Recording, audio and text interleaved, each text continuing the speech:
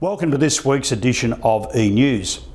With the end of term next week, it is hard to believe that we are already halfway through the year. First of all, I would like to talk about student reports.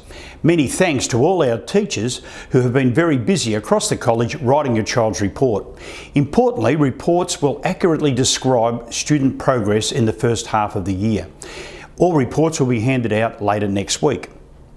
Anthony Stockwell and I had the opportunity last week to talk to students from years 3 to year 9 with what we call Student Voice. Student Voice provided an opportunity for students to talk to us about a variety of aspects about the college and items that they see as important issues. In simple terms, giving students an opportunity to be heard. We have had fantastic conversations with representatives from classes within each of the year levels. We talked about different curriculum and extracurriculum programs offered to each of the year levels, things that they enjoy as well as some of the challenges that they are currently facing and how we can assist them, both our current students and future students, face these challenges head on. I will highlight some of those conversations and what it means for our college in future e-news. Can I just say, we are so impressed with all the students that we have met with. They were all very open, articulate, and honest with their answers. And we look forward to having more meetings with different class representatives during term three and four. We have a number of exciting opportunities coming up in our college. Following on from the very successful personal best evening, the Year 9s are now off on their expedition. The students are away for seven days in their wilderness experience, which has certainly been a very uh, exciting time in the planning. There have been a, a lot of buzz around the college from both students and teachers.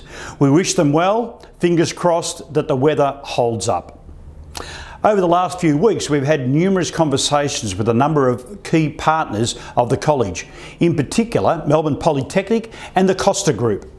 The talks we have been having with Melbourne Polytechnic about their applied learning opportunities and the relationships that they want to offer the college have been some of the most exciting conversations I've had in my career in education.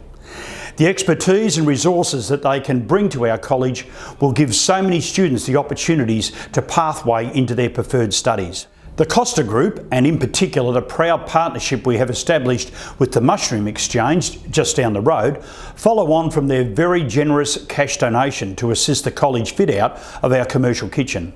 We are looking into offering TAFE courses in subjects like permaculture, horticulture and hospitality, as well as a focus on 21st century robotics and coding. Throughout, their goodwill and their eagerness to develop the partnership has been outstanding. To sum up, the unique opportunities that will present themselves to our students are extremely exciting.